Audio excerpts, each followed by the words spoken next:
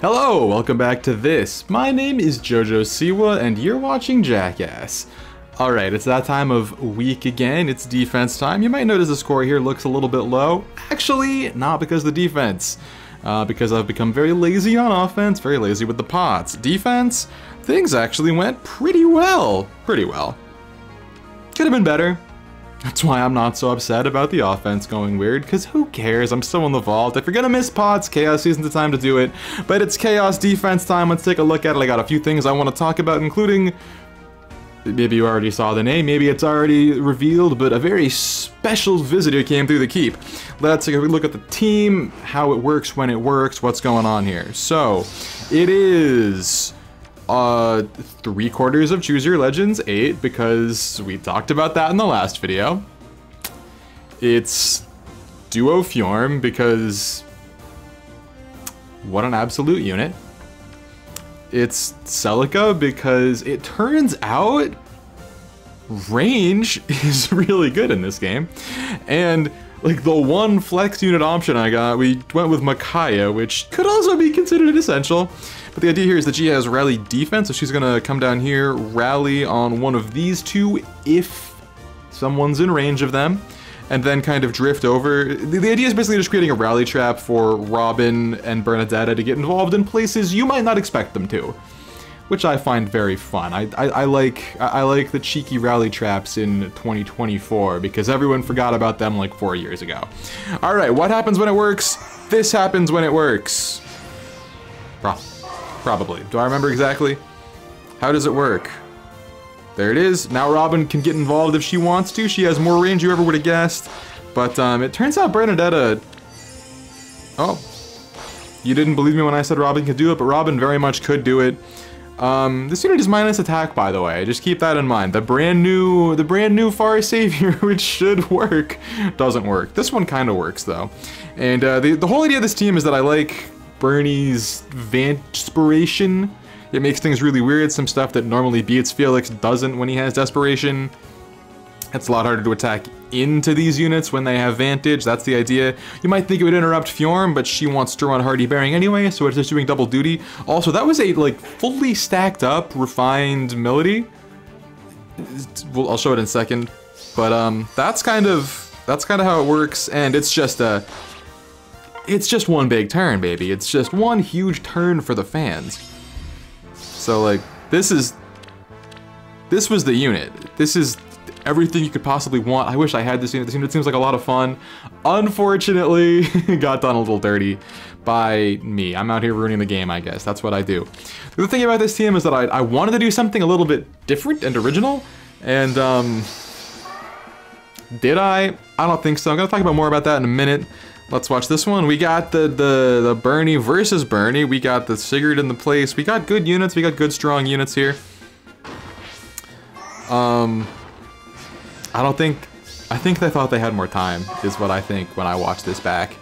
This one seems like a case of thinking they had more time. Um, just really the Vantage effect not... The, the, the, the Bernie effect, not getting to do enough Bernie stuff on their side. And they're playing it out. Respect for playing it out. But, uh, why is that unit so bulky? That unit is so annoyingly bulky. That unit gave me a horrible case of leprosy in Ponds of Loki Light, I can tell you that much. But at the end, you just kind of... It's the alternate surrender. the attack into something that loses the match for you. Um, one more before we see the very special fun time thing.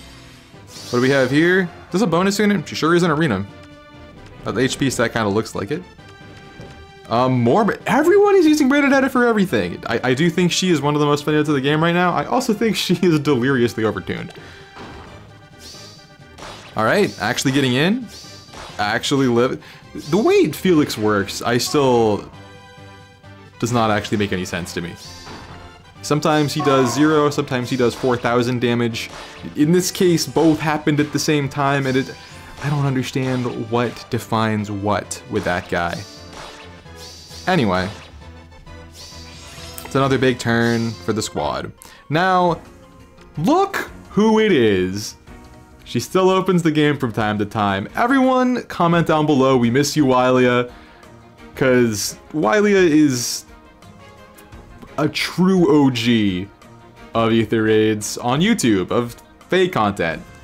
Really, like, the pioneer. I think the first person I ever saw uploading Aether Raids videos. So there's no LevinSety without a Wylia. So thank you, Wylia. Also, sorry, Wylia. You could comment that too. so what did she bring? Um, you all, real ones know the saga of Wylia and Ike, so there is something funny about that. Um, it's a little bit of a mirror match. How does it go? Uh, suboptimally, it looks like. Just again, the range is overbearing. And you didn't think you were going to get Robin. You're going to get Robin. It's Robin time. She's got the jumpies.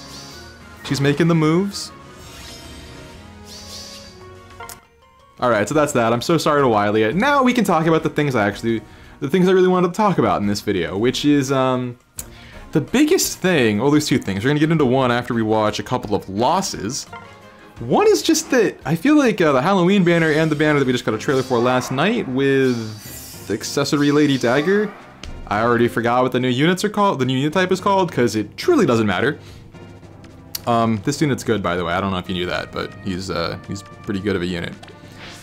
Um, these have felt like the two most skippable banners kind of in a long time, which on the one hand is really nice, right? Because there have been so many essential units back to back to back to back. Like, I mean, Sigurd was in the middle there, so it's like we just got like Duo Fjorm, necessary. CYL 8, necessary. Emblem Sigurd, necessary. Like, very difficult to play the game at a high level in every mode if you don't have all those units. They're, the game is sort of designed around those units at this point. But the fact that all of the banners around that are just sort of nothing burgers is um really a problem in terms of what I was talking about in my last video, which is that we're playing with an incomplete set right now. CYL8 really did feel like a reset to the meta. CYL8 really made so many things just outclassed to a point of being unusable. And that means the unit pool right now is really small. There are very few units you can actually play with in this game and accomplish anything. And we actually need banners with new units that are playable. Or we need better refines or something, because I don't like that my team is literally just three quarters of CYL8 and then like the two other best units in the game. in like Micaiah and Fiona. I mean, you can argue whatever the best units in the game are, right? I could have thrown Sigurd on there. It probably would have made it better. I didn't get him when I made the team. I have him now. We'll do some stuff with that eventually sometime, probably. I don't know. But the point is just, we're playing with an incomplete set. And it's just, when the game first came out, it had like 100 units or something. It was 70 plus, I think. And right now it feels like we're playing a game that has like 27 units, and it's just not enough. Because I really like making teams and being creative, and I don't feel like there's any room to do that right now. Or, like, I mean, like, of course there is, right? But I would just be losing more, and I really like when the game has more of a balance between those things. One more loss. This is the one that counted. So sad. Um, and that brings me to my, this point brings me to my next point, actually. So look at this. I'm shocked we haven't seen more of this guy. I'm also also like the very rare set. You don't usually see him actually run that. I'm an AoE Felixer myself, but that's mostly because I didn't feel like spending feathers on Gale Force. Um, it's also this again. The whole like end turn, like end turn meta now means something else. It's no longer ending your own turn and tanking.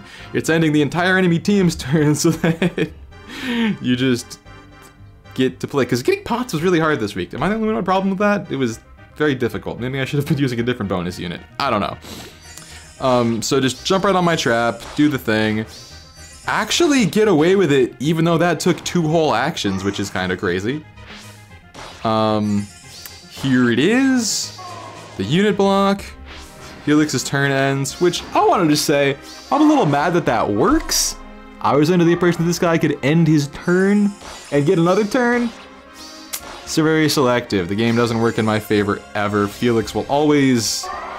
Even when I'm the one using Felix, he finds a way to mess up my run, it seems. And that's also Felix doing the Felixing to my Felix. Do you understand what I'm saying? But the point is that um, I tried to do something different. I tried to use a different map than everyone else is using and build a team around it. And if you if you know about the infantry posture, you might know that this tile is or wait, yeah, that tile, right? I think the tile that Felix landed on is key to that, and I didn't like just getting savagely Felix. It makes me feel like a big dumb stupid idiot. So after Viridian shattered my confidence, we had to make a little change. And my attempt at innovating a team to be the slightest bit creative I could just turned into an infantry pasta. It's literally just the infantry pasta. and infantry pasta doesn't even use the infantry pasta anymore, so I feel like a, like a double silly boy. I'm trapped in the past, although it did it did work.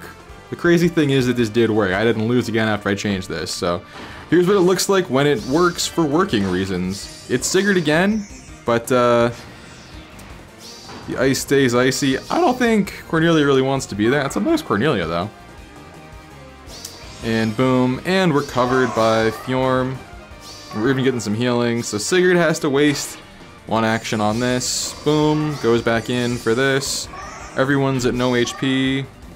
Oh wow, he's getting just an infinite number of actions, isn't he? But I still have all the range in the world. Three KOs, more than I could possibly ask for. And, uh... Alright, it's taken, but... Three KOs is good enough for me. Apparently someone just started vacuuming. I'm really sorry if that's getting picked up, but, uh... Season ends in 20 minutes, so I truly can't stop. What do we have here? Oh, look, it's this guy again, huh? Really haven't seen much of him this week. That's crazy. It's nothing but mirror matches because there are like fewer than 30 units that are playable. Very silly game. This person made the interesting choice of using Peony as a bonus unit in Chaos, which I always try to avoid doing, even though Dancers are usually the best bonus units. When they have to get a KO, I trust Peony a lot less. Is this one stacked up? This one may be able to actually play. The uh, remote sparrow could be really nice there, actually. I don't have that on mine.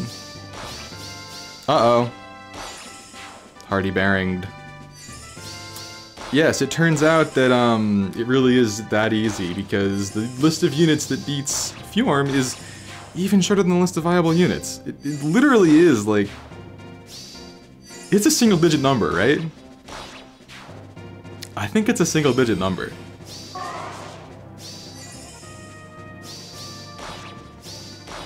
Anyway, we got away with a little Felix action in the Felix zone, and they didn't want to take the... They didn't want to take the losses, so...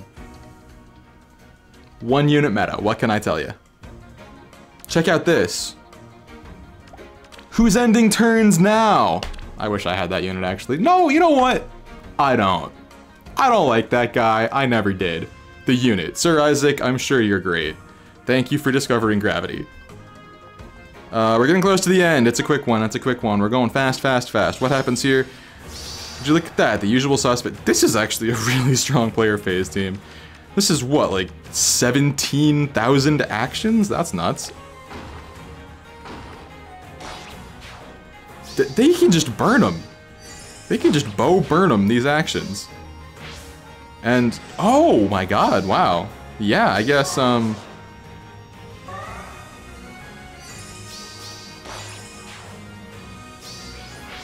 You know, I hadn't thought about the strategy of, like, reducing the threat range and then retreating. That's really smart. But they hadn't thought about the strategy of catapulting the safety fence, apparently. Basically, I'm epic. That's what I'm getting out of this, out of the equation here.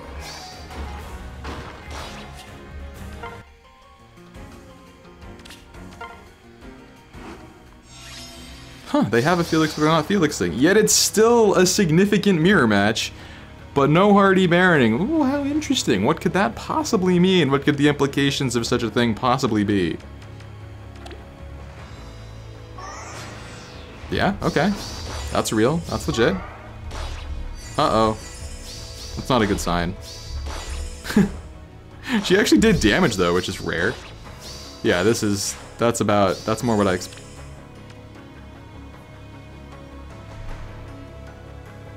Oh, can Celica just not double? That's rare. That life is breathing. Yeah, okay. I win this? Oh, right. Fair and balanced.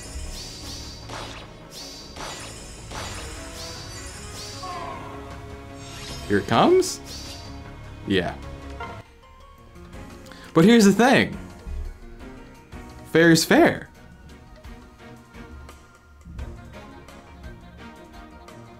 If you can dish it out, you gotta be able to take it, am I right? Alright, one more, and then I'll let you go on your merry way. Ah, the double save. Now this is really interesting because... See, I would have thought you just use this unit as the savior. I don't know why this unit is here if not doing any actual saving. It's an interesting team comp. Like, put like... I would run like Seteth or something as a support in this situation personally. That's just me. Thinking about giving that boy a lot of fodder. I have some rearmed charges to burn, so... I actually got my rearmed peony, my attuned peony up to plus 11 by accident. With a lucky pull on the new, um, whatever banner that she's on, so... Maybe Sabbather's gonna get some, some guidance and some attuned skill. Could be fun. Talk me out of it or into it in the comments if you dare. So, and this is exactly what I was talking about with the incomplete set, because when you release the new units, and even with Hardy Bearing, even with Hardy Bearing, she doesn't even need the quad. Also, the Rally Trap, getting massive value right there, I think, potentially. Maybe it didn't matter, actually. Maybe it did. Anyway, that's how the cookie crumbles, so... A successful scheme on defense, and I am not punished for my sins on offense. Uh, let me know what you thought of this Chaos season, or anything I said about the meta, and I'm gonna let this video be a nice little 17 minutes for you, so... That's that. Hope you're having a good week. Hope you're enjoying what you can about this silly little game. Uh, I'll probably post another video before I die, so until then.